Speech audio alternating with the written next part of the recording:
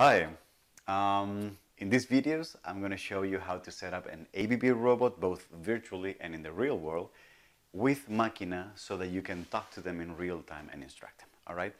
Um, I don't really have an ABB robot right now as of these videos, so what I'm going to do is I'm just going to explain how this whole thing works theoretically and then very soon, as soon as I have an ABB robot, I will just replace all these videos with uh, the actual thing, alright?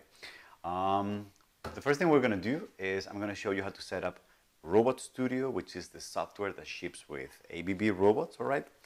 Uh, so that you can connect it to Machina and make simulations and try things out before you go into the real deal.